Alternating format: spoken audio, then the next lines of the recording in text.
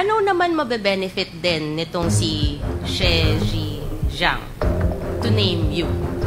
Your Honor, I think it's better for you to ask him. Kasi siya po yung naglabas ng video, so siya po nakakaalam ano yung makakapag-benefit po sa kanya. Definitely, hindi po ako spy. Okay. Relax ka lang. Bakit ka galit? Kasi po, ganun din po yung nangyari last time. Sinasabi po nila spy ako. Mahal ko pong Pilipinas, Filipino po ako, hindi po ako spy. Okay, relax lang. Relax ka lang. Diba? You don't have to be so riled up if you know the truth. Right? Miss Alice Go, Mr. Chair, you are denying that you are Chinese spy. Hindi po ako Chinese spy. Well, Mr. Chair, wala naman atang spiya na mag-aamin na spiya siya. No. So, it really begs the question. But anyway, alam nyo ba, Miss Guo, na itong si She Zi Zhang na umamin na na Chinese spy siya, sinabi naman niya, kilala ka niya, ah, ay inamin niya na dito siya na-recruit sa Pilipinas. Your Honor, I cannot answer your question dahil hindi ko po siya kilala. Before we recognize the next interpolator, may tanong lang ako kay Miss Go Waping. So hindi mo hindi mo kilala 'yon ano? Your Honor, unfair naman po para sa akin. Hindi ko po siya kilala at never po ako humingi ng campaign fund entirely. Never po ako humingi ng campaign fund during my campaign period. At nung video na pinakita po ni Congressman Chino po kanina, hindi ko po siya kilala. At gusto ko rin po na iparating sa lahat ng kababayan ko at buong Pilipinas na rin po. Mahal ko pang Pilipinas. Kasi nabanggit dun sa video na you can you're probably a spy. Hindi po ako spy. So hindi ka spy. Totally po, hindi po ako spy. Hindi ikaw yung nasa picture. Hindi po ako spy, hindi po ako nasa picture, at hindi rin po, Your Honor, ako yung sinasabi niya. Kasi In yung yung parang ah, pinakita niyang dokumento, I don't know if that is a birth certificate from China, it clearly shows a picture that resembles your feature. Di ba? So, one. Two, pangalan mo, yung Go Waping. Tapos yung place of birth mo, nakalagay daw doon. Nakalagay, China eh, di ba? So, how will you now tell us and convince the Filipino people na ikaw ay hindi spy at ikaw ay hindi involved dito sa Pogo? Ah, Your Honor, I think our government agencies can prove din sa darating ng araw na hindi po ako spy dahil hindi naman po talaga ako spy. Secondly, yung tao po na nasa video po kanina, I'll find way para hindi ko po alam kung paano, pero I'll talk to my lawyer, especially the network, ah, magdidemanda po ako. Okay, sige. Thank you. The next interpellator is uh, Congresswoman Migs Nograles. You're recognized. Thank have you, five Mr. minutes. Chair. Um, before that, sorry, um, Miss Alice Go, you said you will file a case against this uh, Sheji Zian, and you said you will tell the network. Anong network to? Ah, per my record po, kung di po ako nagkakamali, ah, Alza Jira Network. Okay, Yung thank nakita you. ko po kanina. Pero babalikan ko po kung tama po yung, yung naisulat ko po, Your Honor. Thank you. Mr. Chair, I'll go um, back to some questions in, re- in relation to the video. So again, Miss Alice Go, Mr. Chair, you are denying that you are Chinese spy. Hindi po ako Chinese spy. Well, Mr. Chair, wala naman atang spiya na mag-aamin na spiya siya. No. So, it really begs the question. But anyway, alam nyo ba, Miss Guo, na itong si She Zi Zhang na umamin na na Chinese spy siya, sinabi naman niya, kilala ka niya, ah, ay inamin niya na dito siya na-recruit sa Pilipinas. Your Honor, I cannot answer your question dahil hindi ko po siya kilala.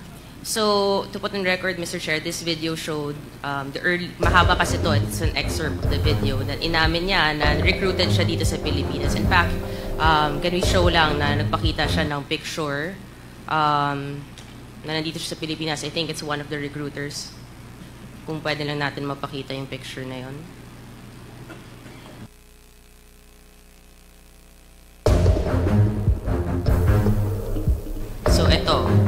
um, wala kang kilala dito. Sa tatlo po, ni isa po wala po akong kakilala, Your Honor.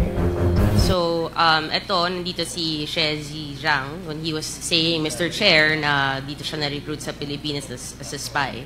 Baka iisa lang pala ang nagre-recruit sa kanila, hindi natin alam, no? Um, and again, babalik natin doon sa uh, picture na pinakita sa video. Yung next slide, please. And again, you confirm this is not you, Miss Alice Go. Ah, Your Honor, hindi po ako yan. This is not you. Okay. Ang katanungan ko, Miss God, pag you're saying that hindi mo kilala at demanda mo, ano naman mabe-benefit din nitong si She Ji Zhang to name you?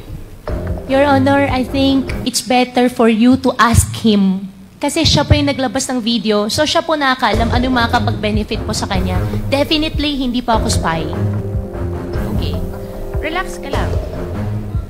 Bakit ka galit? Kasi po, ganun po yung nangyari last time. Sinasabi po nila spy ako. Mahal ko pong Pilipinas, Filipino po ako, hindi po ako spy. Okay, relax lang. Relax ka lang. Diba? You don't have to be so riled up if you know the truth. Right? So, you categorically will keep denying what Shezi Zhang is saying. Right? He mentions na pinanganak ka sa Fujian, China. And na nanay mo si Lin Wenyi. Correct. Allegations po niya yon, Your Honor. And who is Li Lin Wenyi? Ah, Your Honor, Lin Wenyi is the partner of my father. And about my citizenship naman po, I think there is already I'm ko, not ah, asking anything court about your na po. citizenship. I'm just asking who Lin Wenyi. Pinapangunahan mo ako sa mga questions ko. Hindi pa naman, hindi ko naman tinatanong. Masyado kang defensive. You know, mga actuations mo, medyo, it's showing something, Miss Guo. So, itong address mo na pinakita, pakita natin yung picture ulit. Um, yung address nito, Mr. Chair, is apparently the local address of the Chinese uh, Communist Party. Sigurado ka, hindi mo namimiss to? Walang memories? Never ko po nakita, Your Honor. Baka lang, may emotion, emotional ka ngayon eh. Baka lumabas ang emotions mo dito. ano? Your Honor, emotional po ako dahil unfair po para sa akin para sabihan po ako na spy po ako. Okay, I'm asking about your house now. So, eto, Your Honor, that's not my house. Okay, this is in Fujian. Balik lang natin sa last hearing na meron pinakita si Congresswoman Luistro, no? Yung nagko-congratulate yung people of Fujian sa kanya. So, kung hindi ka taga dito, at mukhang taga dito naman yung sinasabi nilang bahay nila, bakit naman din? Ba- pakita nga natin ulit. I think we have that, no? That the people of Fujian was uh, congratulating the first mayor na, na naging mayor dito. Yan. Um, we have a translator here. Do you understand what is written? Uh, yes, this is like uh, congratulating for for winning as the mayor. Okay, and then uh, th- these are the people who prepared uh, this congratulatory page Those are the people, yung mga pangalan. below. Yes po. Baka kunin natin, Mr. Chair, yung mga pangalan na yan. Yeah, can you can you please uh, post it again? Yan. Oh. Sino-sino yan? Uh, it is from uh, Jinjiang, um, Jinjing Shen. Yeah, it's an association of the hometown. It's in Jinjing Shen. Which is in Fujian, I think. Uh, yes, it is. Which is basically where what we saw in this video, Mr. Chair, kung saan talaga sinasabing galing ang um, si Miss Alice Guo, no? And then itong si Lin Wenyi na tinatanggan naman po ni Miss Alice Guo na hindi mo nanay, no? Which later on, nakakalungkot if she really is your mother, na you're denying your ties to your mother. Ooh, sinabi din sa documentary, Mr. Chair, na umalis nga daw siya, sabi ng mga residente doon, na umalis siya towards the end of 2002. From the previous hearings, we have a copy of um, the special investor resident visa. Yung next slide, please. Yan. Na dependent siya ni Lin Wenyi. Galing nga sila from Fujian.